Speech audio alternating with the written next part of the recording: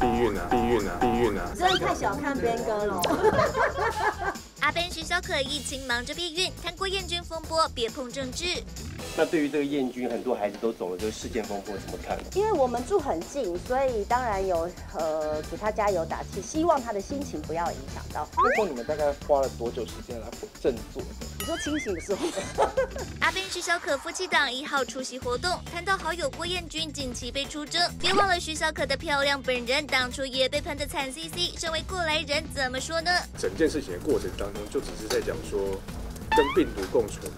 跟配套措施要做好这件事情，后来就一票人就一直在讲说什么我们在讨着要打疫苗啊，叭叭叭叭，我们真的是没有在诉求这一点。但是很妙哎，就是 Ben 有说，当我们发生事情的时候，其实燕军有他第一时间有传讯息过来给我们，然后跟我们安慰我们这样。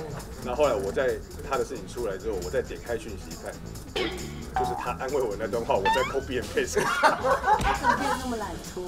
可是会不会觉得？这样子言论自由有被牵制的感觉，应该讲说有学到该怎么好好的表达。如果要有智慧的说出来自己的想法，再来就是政治的东西真的不要碰，因为我不懂，那我就是门门外汉。以后不要今天不要讲政治，好讲。对，不不就是不要不要不要，除非我真要从政。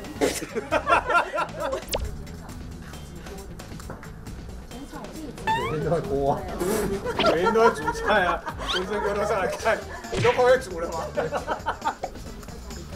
啊，避孕啊，避孕不是绑起来就好了啊？我怕，就要买一些会制造地球环保问题的东西来。也没有啊，就尽量就是对。没有，嗯，也没有啊。对，没有。这样就是还是会容易走，都转结束了，现在还有夫妻？不会没有？你真的太小看边哥了。你们三个都网课吗？老三升一年级，所以没有所谓的网课。可能他就是要想一些节目让老三来做了。之前有去学过一一一阵子魔术。对，没有没有没有没有没有没有没有没有，我想说那道具很贵，我们用水啊，然后蜡烛就可以了。对。为什么要辣？我是用在我身上。呃呃，你好，太太，很高兴来这里。啊，这不会很腻，不要抢我的话。这是我点的，这是我点的。你看这边看到了什么？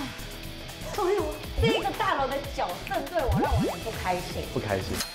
他家里的那个喇叭，玩那个飞机的，